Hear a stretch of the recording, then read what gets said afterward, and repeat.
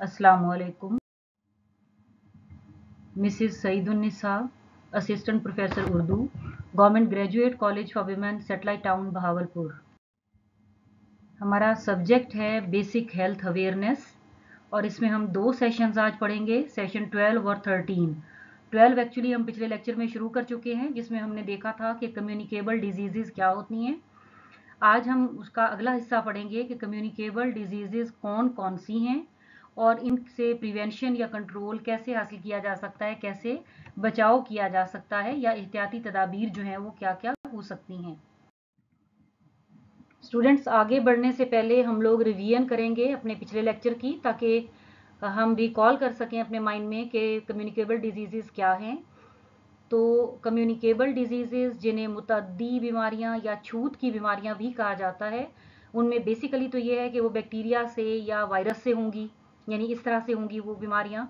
और दूसरी बात ये है कि किसी भी मुतासरा शख्स के सिक्रीशंस जो हैं बॉडी सिक्रीशन वो उसका थूक है, वो नाक से निकलने वाला मवाद है, वो उसका ब्लड है, उससे भी वो आगे मुंतकिल हो सकती हैं, वो उस सरफेस से भी मुंतकिल हो सकती हैं, जहाँ मुतासरा शख्स खड़ा हो और उसके थूक के ज़र्रात वगैरह गिरे हों, या जो जिस किस्म की भी बीमारी है, उसका कुछ मवाद उस पर लग गया हो, उस जगह पे तो उसको टच करने से भी वो बीमारी आगे फैलेगी। मैंने कल भी आपको मिसाल दी थी कि कोरोना जो है, उसके हवाले से आप देख लें कि हम कहते हैं जी छींकने से, खांसने से जो थूक के पार्टिकल्स निकल रहे होते हैं उनके साथ ये बीमारी फैलती है या फैल सकती है।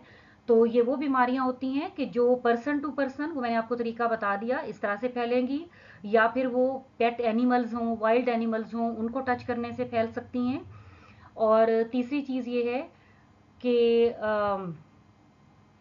फ़ूड के ज़रिए, पानी के ज़रिए, हवा के, फ़िज़ा के ज़रिए वो फैल सकती हैं। तो ये वो बीमारियाँ हैं जिनसे हमने, और ख़ास तौर पे इंसेक्ट बाइट के ज़रिए भी फैल सकती हैं। जैसे पिछले कुछ सालों में हमने डेंगू को देखा, बीमारी को, उससे पहले जो था वो मलेरिया और हैज़ा, मक्खी से और मच्छर से इस तरह से ये फैलते हुए हमारे सामने होती थी सिम्टम्स भी और हम प्रिकॉशनी मयर्स भी इख्तियार करते थे कि कूड़े के ढेर ना हो, पानी इकट्ठा ना हो। तो ये वो सारी बीमारियाँ हैं जो किसी वायरस से या बैक्टीरिया से फैलेंगी और हम इन्हें कहेंगे कम्युनिकेबल डिजीजेज और मैंने वहाँ आपको अलग करके उस लेक्चर में दो टाइप्स बता दी थी। कि कम्युनिकेबल डिजीजेज जो हैं, उनके ट्रांसमिट होने के दो तरीके हैं डायरेक्ट और इनडायरेक्ट डायरेक्ट में आ गए पर्सन टू पर्सन और दूसरा ड्रॉपलेट स्प्रेड यानी जो थूक के ज़रात वगैरह निकलते हैं. और इनडायरेक्ट में हमने उसमें पढ़ा था, ये फ़िज़ा के ज़रिए, खुराक के ज़रिए, जानवरों के ज़रिए तो ये सारी चीज़ें इनडायरेक्ट में आ जाती हैं इनडायरेक्ट ट्रांसमिट में. आज जो हमने पढ़ना है, वो है इसी का दूसरा हिस्सा. तो आइए चलते हैं अपने लेक्चर की तरफ़. आज हम डिटेल से पढ़ने वाले हैं कम्युनिकेबल डिज़ीज़ को कि कौन कौन सी बीमारियाँ हैं, कैसे फैलती हैं प्रिकॉशनी मैयर्स क्या हो सकते हैं मेडिसिन क्या ली जा सकती है। तो पहले हम ये देख लेते हैं कि इनकी टाइप्स कितनी होती हैं। तो कम्युनिकेबल डिज़ीज़ दो टाइप्स की होती हैं, दो तरह की होती हैं। एक हैं कॉमन कम्युनिकेबल डिज़ीज़ जो आम तौर पे फैलती हैं वायरस या बैक्टीरिया से। दूसरी है डर्मल जिल्द के ज़रिए इस तरह से जो बीमारियाँ फैलेंगी, उनको हम फिर अगले लेक्चर में पढ़ेंगे। आज हम इसी तक महदूद रहते हैं कि कॉमन कम्युनिकेबल डिज़ीज़ कौन कौन सी हैं।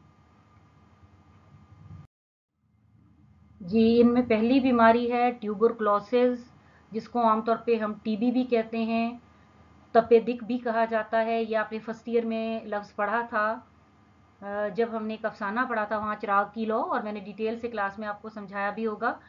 कि टीबी भी कहते हैं, तपेदिक भी कहते हैं, आम ज़ुबान में इसको बड़ा बुखार भी कहा जाता है। फिर मैंने उस वक्त सिम्टम्स भी वाजे की होंगी कि बाद असर, बुखार का या थकावट का ज़्यादा होना हल्की हल्की खांसी या दोपहर को भी हल्का सा बुखार हो, लेकिन वो सिर्फ़ जिसम गर्म की हद तक महदूद हो तो यहाँ हम डिटेल से उसको देख लेते हैं कि बैक्टीरिया से ये बीमारी फैलेगी।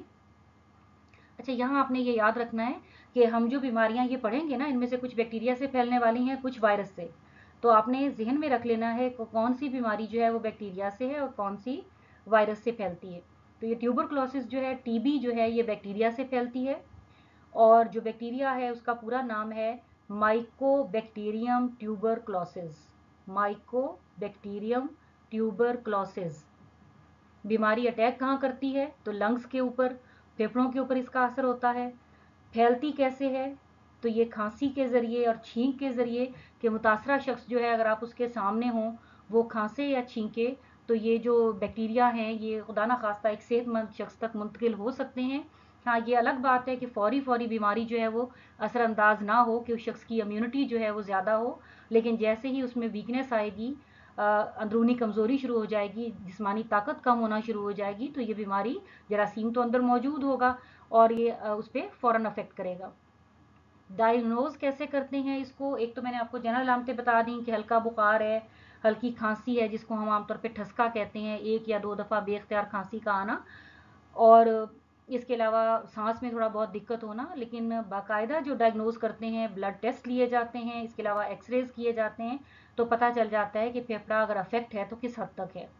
ट्रीटमेंट इसकी क्या है? पहले तो शुरू में ज़ाहिर है जैसे ही बीमारी आती है तो फौरी उसका कोई इलाज बाकायदा नहीं होता तो ऐसा ही टीबी के साथ भी था। सैनिटोरियम्स में लोगों को रखा जाता था कि चले आबो हवा थोड़ा तब्दील हो जाए, और जो जनरल मेडिसिन होती थी वो दी जाती थी, और बहुत मुमकिन मुश्किल था क्योर होना। उसके बाद जो था वो बाकायदा कोर्स की सूरत में मेडिसिन दी जाने लगी। तो यहाँ जो मैंने ऐड किया कि taking medicine for a long period, मैंने इसीलिए लिखा है कि ये इलाज लंबा अरसा भी चल सकता है और होता यह है कि जो फेफड़ा जितना अफेक्ट हो गया, उसमें अगर ज़ख्म बन गया है, कोई और ऐसा मसला पैदा हो गया है तो वो काफ़ी हद तक तो बेहतर हो जाता है, लेकिन फुली क्योर नहीं होता। तो मेडिसिन ही इसका इलाज है बेसिकली प्रिकॉशनरी मैयर्स में यही है कि ऐसा पेशेंट जो है, उसके सामने आप ना बैठें, उसके थूक से, उसके बलगम से, उसके पिए हुए पानी से, यानी जो जो लिक्विड्स हैं, उसके ब्लड से के साथ डायरेक्ट टच होने से आप परहेज़ करें, उसके यूज़ किए हुए जो कपड़े हैं, बर्तन हैं, वो जब तक अव्वल तो अवॉइड करें वरना जब तक मुकम्मल खुश्क ना हो जाए, उनको इस्तेमाल ना किया जाए। फिर जैसे हमने पढ़ा कि हवा के ज़रिए, फ़िज़ा के ज़रिए भी बीमारियाँ फैलती हैं तो जिस जगह पे वो मरीज़ खांस रहा है, लेटा हुआ है, उस एरिए में कम से कम जाया जाए या अपने मुँह और नाक को कवर करके जाया जाए, ये ज़्यादा बेहतर है। तो ये पहली बीमारी थी जो हमने इस सिलसिले में पढ़ी। कि कम्युनिकेबल डिजीजेज जो एक से दूसरे को हो जाती हैं, उनमें से पहली है ट्यूबर क्लोसिस टीबी फेफड़ों से रिलेटेड बीमारी है ये। आपने क्या करना है? आपने बैक्टीरिया उनका नाम कहाँ अटैक करती हैं ये बीमारियाँ? फैलती कैसे हैं? ये मैंने अलग अलग इसीलिए पॉइंट्स बताए हैं कि ये सारे आपके शॉर्ट क्वेश्चंस हो सकते हैं और ऑब्वियसली जब लॉन्ग क्वेश्चन या नोट आएगा तो आपने इसको पूरे का पूरा लिखना होगा। ये है दूसरी बीमारी, पोलियो। आपने देखा होगा, कुछ बच्चों को, बड़ों को भी इवन कि वो लंगड़ा के चलते हैं, एक पाँव जो है उसके ऊपर उनकी ग्रिप नहीं होती या हाथ के ऊपर नहीं होती, या हाथ और पाँव की ग्रोथ थोड़ा कम होती है, या वो बहुत पतले सुकड़े हुए महसूस हो रहे होते हैं तो ये वही बीमारी है, ये वायरल डिज़ीज़ है। अब मैंने पहले भी आपसे कहा कि वो जो टीबी हमने पढ़ा बीमारी के हवाले से, वो था बैक्टीरिया उससे फैलने वाली बीमारी। अब पोलियो है तो ये वायरल डिज़ीज़ है और ये पोलियो वायरस से फैलती है, ठीक है? ये फ़र्क आपने जहन में रखना है। ये अटैक कहाँ करती है? ये नर्व्स के ऊपर अटैक करती है, आसाब को जो है वो डैमेज करती है और यही वजह है कि जब आसाब को डैमेज करती है, टांग या बाजू जो है उसके पट्टे खिंच जाते हैं, सुकड़ जाते हैं या उनकी ग्रोथ नहीं होती सही तरह से और उस मरीज़ के लिए उस हाथ से काम लेना या पाँव पे सही तरह से चलना मुमकिन नहीं रहता। फैलती कैसे है वही बात है कि पर्सन टू पर्सन और ख़ास तौर पे कांटेक्ट अगर हो जाए उसकी इन्फेक्टेड म्यूकस से। कोई भी बीमारी ये आप जहन में रखें कि जो पर्सन टू पर्सन फैलती है या फैलने वाली बीमारी है वो हमेशा सेक्रीशन से फैलेगी वो नाक का बलगम हो मवाद हो वो गले से आने वाला बलगम हो हलक से आने वाला वो आ, क्या है थूक हो मुँह से निकलने के वाला या फिर ये ब्लड हो तो जितनी सेक्रीशंस हैं उनसे अवॉइड करना चाहिए। ये भी इस तरह से फैलती है और इसका बेस्ट ट्रीटमेंट यही है कि बर वक्त वैक्सीनेशन करवा ली जाए तो जो कोई भी शख्स है वो इससे महफूज रह सकता है। नेक्स्ट है जी डेंगी जिसको हम पिछले कई सालों से बर्दाश्त कर रहे हैं। ये भी वायरस से फैलती है बीमारी। कैसे फैलेगी? Through the bite of an infected mosquito वो मच्छर जो इससे इन्फेक्टेड होगा उससे ये फैलेगी और इन्फेक्टेड क्या? खासतौर पर ये एक मच्छर की किस्म है जो इस बीमारी को फैलाती है। तो या फिर जो प्रेग्नेंट वूमेन है, यानी जो माँ बनने वाली खातन है, वो अपने पेट में ही अपने बच्चे को इससे इन्फेक्टेड कर सकती हैं। तो ये तरीका है इस बीमारी के फैलने का। इसकी सिम्टम्स क्या हैं? नोजिया यानी मतली फील होती है पेशेंट को वोमिटिंग होना शुरू हो जाती है, जोड़ों में या बॉडी में दर्द शुरू हो जाता है स्वीयर दर्द होता है स्वीयर पेन होता है। बाज़ात बॉडी पे रैशेज़ बन जाते हैं, सुरख सुरख दाने, सुरख धब्बे, और ऐसा इसलिए होता है कि जो खून की नालियाँ हैं, वो रक्चर होना शुरू हो जाती हैं जिल्द के नीचे। इसके साथ बुखार होता है तो ये तमाम अलामत जो हैं, ये डेंगी की हैं। जब डेंगी बड़ी स्वीयर कंडीशन इख्तियार कर लेता है तो उस पेशेंट के जो प्लेटलेट्स हैं, वो काफ़ी हद तक गिर जाते हैं, और ये रिस्की कंडीशन होती है। ट्रीटमेंट क्या है कि स्पेसिफिक मेडिसिन कोई नहीं है इसके लिए। सिर्फ़ ये है कि जैसे बुखार है तो हम आमतौर पे क्या करते हैं? हम पैरास्टामोल ले लेते हैं आइबोप्रूफिन ले लेते हैं तो इससे मना किया गया है कि डेंगी पेशेंट को ये मेडिसिन यूज़ नहीं करनी चाहिए। और दूसरी बात ये भी हमारे यहाँ एक रिवाज ही है कि हम स्प्रीन डिस्प्रीन वगैरह यूज़ कर लेते हैं तो डेंगी पेशेंट को इनसे भी अवॉइड करना चाहिए। क्योंकि मैंने अभी आपको ये अलामत बताई है कि बाज़ अवत जो रैशेज़ बनते हैं उनकी बॉडी के ऊपर पेशेंट्स के, वो जो बारीक कपिलरीज होती हैं, उनके रप्चर होने से बनते हैं। और स्प्रीन जो है वो आमतौर पे खून को पतला करने के काम आती है। खुदा ना खास्ता, अगर डेंगी पेशेंट जो है वो इस तरह की कोई मेडिसिन यूज़ कर लेता है तो वो उसके लिए हार्मफुल साबित होती हैं। प्रिवेंशन यही है कि आप अपने आप को मच्छरों के काटने से बचाएँ। पहली बात तो यही है। दूसरी बात यह है कि जैसे ही खुदा ना करे अलामत ज़ाहिर हों तो अभी इब्तदाई अलामत की बेस पे जो मेडिसिन बनती हैं, उनसे, इसको फैलने से, बढ़ने से इसकी शिद्दत को रोकना चाहिए। जी, एक और बीमारी जिसको हम इन दिनों में फेस कर रहे हैं, वो है कोरोना। ये भी वायरस से फैलती है। और कफ और स्नीज से, खांसी और छींक के ज़रिए फैलती है।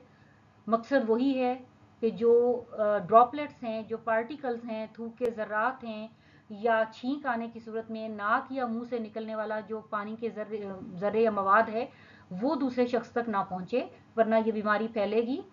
और इसीलिए आप देख रहे हैं कि हम लोग मास्क यूज़ करते हैं अपने नाक या मुँह को कवर करके रखते हैं। सिम्टम्स इसकी क्या हैं? इसमें भी बुखार होता है ड्राई कफ खुश्क खांसी होती है। इस पेशेंट में खांसी के साथ बलगम नहीं होता, आगे जाके हम फ्लू पढ़ेंगे तो आपको इन दोनों सिम्टम्स में जो थोड़ा बहुत चेंज है, वो समझ में आ जाएगा कि खुश्क खांसी होगी हेडेक होगा, सर दर्द करेगा बॉडी पेन्स होंगे, कुछ को डायरिया भी हो जाता है, यानी साथ उनका स्टमक भी अपसेट हो जाता है। तो ये सिम्टम्स हैं इनकी। प्रिवेंशन इसकी क्या है कि वॉश हैंड्स एंड यू और यूज़ सैनिटाइजर कि या तो पानी अवेलेबल है, जैसे अलहमदिल्ला हमारे मुल्क में तो ईजिली अवेलेबल है तो हमें अपने हाथ धोने चाहिए गाहे बगाहे। और अगर ऐसा नहीं है जिस जगह पे आप हो, पानी अवेलेबल ना हो, या वो ममालिक जहाँ पे पानी अवेलेबल नहीं है इजीली शॉर्टेज होती है तो वहाँ पे वो सैनिटाइज़र यूज़ करें अपने हाथों को साफ़ करने के लिए। इसके अलावा मास्क पहने और जो पेशेंट है, उससे दूर रहें। आपने देखा होगा कि टीवी पे जो मुख्तलिफ़ एड्स आते हैं, उनमें हमें ये समझाया जाता है कि हम छः फुट के फासले पे रहें। क्लासेस में आप लोग देख रहे हैं कि जिन दिनों में आपकी क्लासेस हो रही होती हैं, हम आपको फासले पे बिठाते हैं मास्क लगवाए रखते हैं तो ये सारी एहतियाती तदाबीर हैं। और बेहतरीन तरीका यही है कि वैक्सीनेशन करवाई जाए जितनी जल्दी मुमकिन हो। फ़िलहाल इसकी दो डोजेज लग रही हैं वक्फे के साथ, मुख्तलिफ़ किस्म की वैक्सीनेशन हैं। तो फिलफॉर्ड वैक्सीनेशन की तरफ़ जाना चाहिए, ताकि हमारे अंदर वो तमाम चीज़ें पैदा हो सकें। जो बीमारी की सूरत में आ, मुकाबला करने मुकाबला कर सके हमारा जिस्म जो है बीमारी का मुकाबला करने के काबिल हो। तो कोरोना बेस्ट एहतियात दूर रहें पेशेंट से उसकी छींक और खांसी से बचें और अपने मुँह को अपने नाक को मास्क से कवर करके रखें अपने हाथों को बार बार धोएँ या सैनिटाइज करें और वैक्सीनेशन करवाएँ।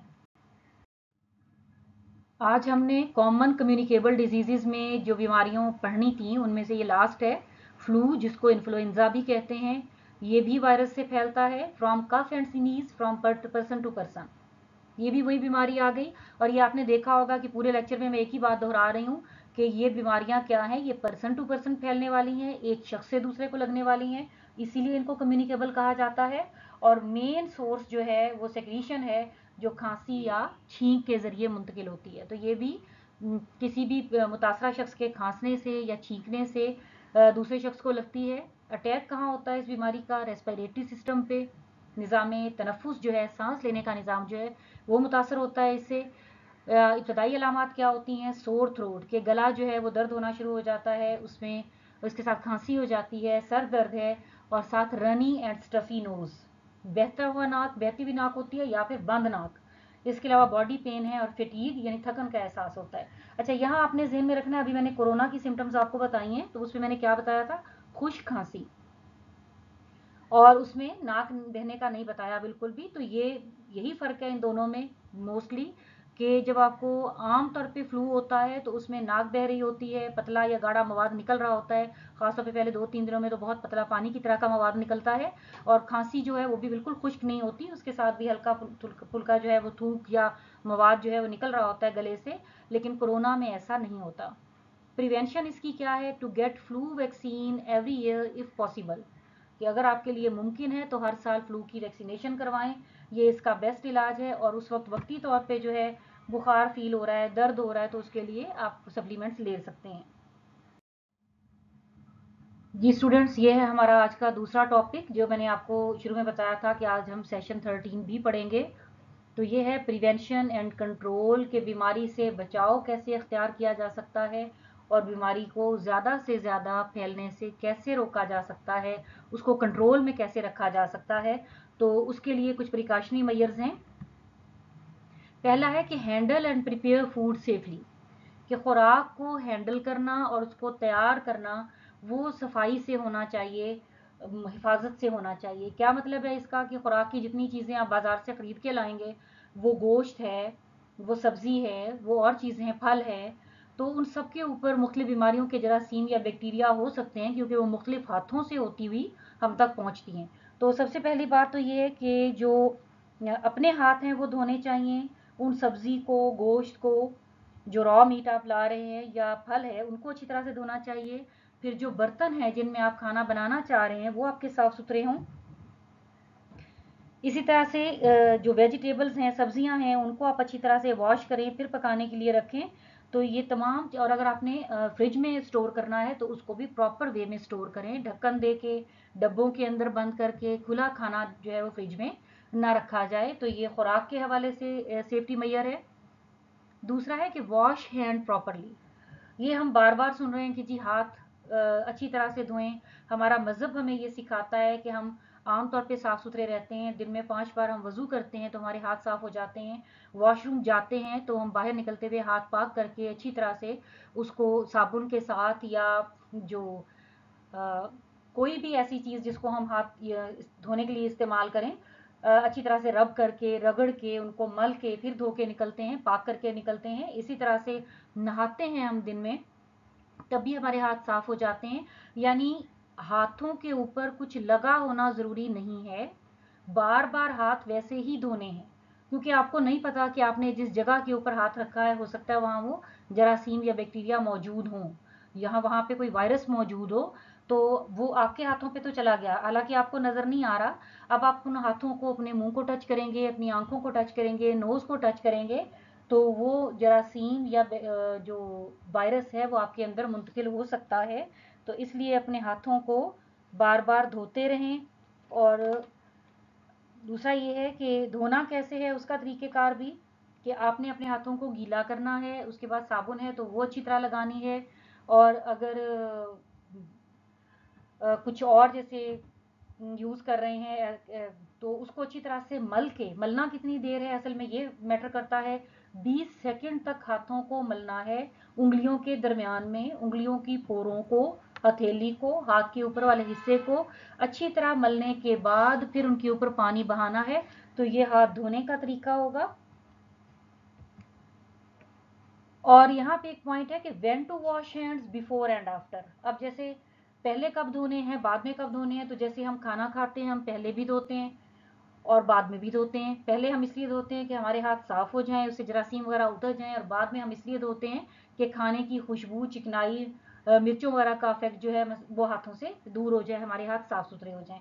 इसी तरह खाना पकाने से पहले भी धोएँ, खाना बनाने के बाद भी धोएँ, क्योंकि हम लोग मुख्तलिफ़ मसाला जार डाल रहे होते हैं लहसुन, प्याज है, गोश्त को उठा के डाल रहे होते हैं तो मुख्तलिफ़ चीज़ें हमारे हाथों को लगती रहती हैं। हमें पहले भी हाथ धोने चाहिए ताकि खाना साफ़ सुथरा बने और बाद में अपनी सेफ्टी के लिए भी हाथ धोने चाहिए। How to wash hands even ये भी आपको बता दिया कि तरीक़ेकार क्या होगा। और यह है कि how we should use sanitiser कि अगर आपके पास पानी अवेलेबल नहीं है या आप ऐसी जगह पे हैं, घर से बाहर हैं तो फिर आपने सैनिटाइज़र कैसे यूज़ करना है?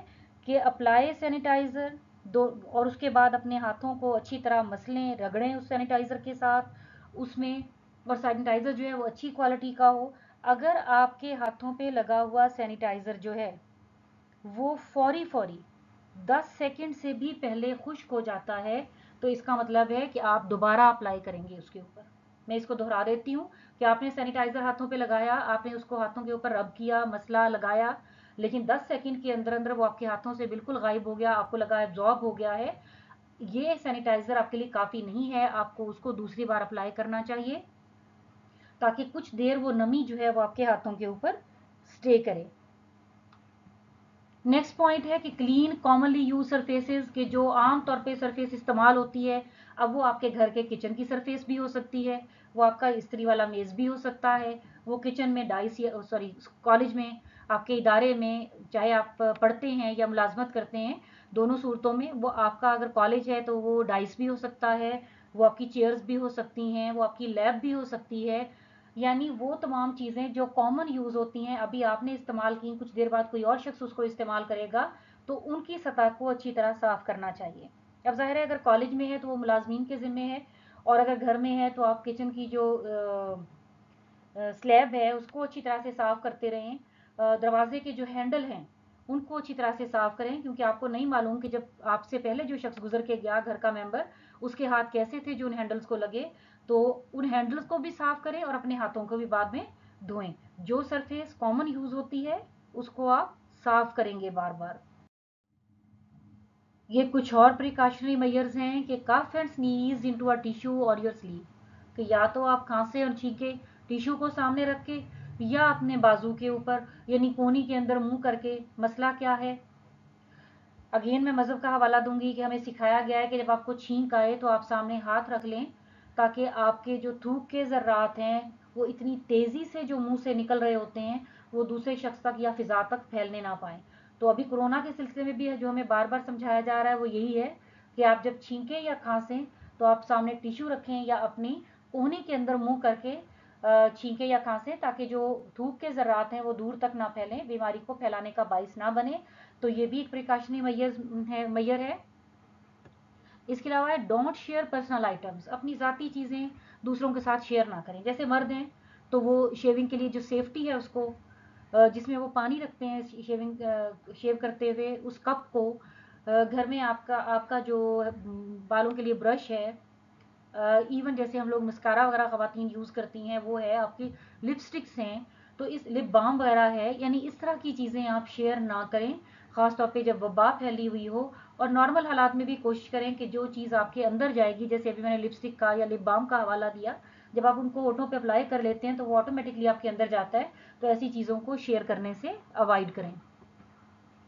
गेट वैक्सीन सबसे बड़ी बात यह है कि वैक्सीनेशन अगर हो सकती है तो आप वैक्सीन की तरफ़ जाएँ। आपने देखा है कि न्यूली बॉर्न बेबी को बीसीजी का इंजेक्शन लगता है, इसके अलावा कुछ वैक्सीनेशन उस वक्त हो जाती है। बाद में कुछ बीमारी अगर हो जाए तो उसके लिए भी वैक्सीनेशन अवेलेबल हैं। तो कोशिश करनी चाहिए कि फौरी वैक्सीन की तरफ़ जाएँ, ताकि जिसम में उस तरह की एंटीबॉडीज़ बन सकें, जो बीमारी का मुकाबला कर सकें। नेक्स्ट है कि avoid touching wild animals pet animals को भी ध्यान से आप टच करें, उनको डॉक्टर्स के पास ले जाएँ, उनका मेडिकल चेकअप करवाते रहें और वाइल्ड एनिमल्स को तो बिल्कुल भी पूरी एहतियात के साथ डबल तो टच ही ना करें। अगर करना भी पड़े तो पूरी एहतियात के साथ ग्लव्स पहन के, क्योंकि उनके ऊपर किस किस किस्म के जरासीम है आप नहीं बता सकते। वो तो बाहर से फिरते फिराते किन किन एरिया से होके आ रहे हैं, आपको मालूम नहीं है। नेक्स्ट एंड लास्ट वन के स्टे होम वेन सिक ये भी हमें आजकल बार बार बताया जा रहा है कि आप अपने घर पे रुकें। जब लॉकडाउन होता है, तब भी हमें ताकीद की जाती है कि घर पे रुकें। और हमारे यहाँ क्या होता है कि हम उन्हीं छुट्टियों को अवेल करते हुए बाज़ार में चले जाते हैं शॉपिंग के लिए या हम पार्क्स में चले जाते हैं इंजॉयमेंट के लिए, रिश्तेदारों से मिलने के लिए चले जाते हैं। ये बहुत ही गलत हरकत है। असल में ये है कि बीमार होने की सूरत में आप अपने आप को क्वारंटाइन करें, एक मखसूस एरिया तक महदूद रखें, ताकि बीमारी जो है वो दूसरों तक ना फैल सके। तो ये कुछ प्रिवेंशंस थी। कुछ एहतियाती तदाबीर थी जिनसे हम बीमारी को कंट्रोल कर सकते हैं। जी, जो शॉर्ट क्वेश्चंस इसमें से आ सकते हैं, वो है what is a mosquito borne viral infection second है कि how many types of communicable diseases और जो लॉन्ग या सब्जेक्टिव क्वेश्चन है, वो है write a note on common communicable diseases इसके अलावा, जैसे हमने प्रिकाशनी मैयज वाला पढ़ा तो वो क्वेश्चन भी आपको लॉन्ग क्वेश्चन के तौर पे आ सकता है। लेक्चर को यहीं तक महदूद करते हैं, जो कम्युनिकेबल डिज़ीज़ का दूसरा हिस्सा है, जिनको डर्मल डिज़ीज़ कहा जाता है, उसको हम नेक्स्ट लेक्चर में इंशाल्लाह पढ़ेंगे। आज हमने क्या पढ़ा? आज हमने पढ़ा कि जो कम्युनिकेबल डिज़ीज़ हैं, उनकी दो टाइप्स हैं कॉमन कम्युनिकेबल डिज़ीज़ और डर्मल कम्युनिकेबल डिज़ीज़ आज हमने पढ़ी हैं कॉमन उनमें हमने कौन कौन सी बीमारियाँ देखी हैं? ट्यूबर यानी टीबी इसके अलावा फ्लू यानी इन्फ्लुएंज़ा इसके अलावा कोरोना, पोलियो तो ये मुख्तलिफ़ पाँच छः बीमारियाँ जो हैं आज हमने पढ़ी हैं। इनके फैलाव का तरीक़ेकार देखा है, इनसे बचाव कैसे किया जा सकता है, उस वक्त कौन सी मेडिसिन हम यूज़ कर सकते हैं पहले एहतियाती तदाबीर क्या हो सकती हैं या वैक्सीनेशन क्या हो सकती है तो ये आपका बेसिकली लॉन्ग क्वेश्चन है। इसके अलावा हमने पढ़ा है कि जो एहतियाती तदाबीर हैं वो कौन सी हो सकती हैं तो ये सवाल तो आपको कोरोना के हवाले से भी आ सकता है जो मौजूदा जो हालात चल रहे हैं, इनके हवाले से भी आ सकता है तो सवाल ट्विस्ट हो सकता है, जवाब यही रहेगा। तो वो हमने प्रिकाशनी मैयर्स देखे हैं। इनमें से ये भी आ सकता है, शॉर्ट क्वेश्चन की सूरत में कि दो या तीन प्रिकाशनी मैयर्स लिखें और इस तरह से आ सकता है कि दो या तीन बीमारियों के नाम लिखें जो कॉमन कम्युनिकेबल हैं, या पूछा जा सकता है कि जी फलां बीमारी जो है वो बैक्टीरिया से फैलती है या वायरस से या उस किन जगहों पे, किन हिस्सों पे बॉडी पार्ट्स पे अटैक करती है?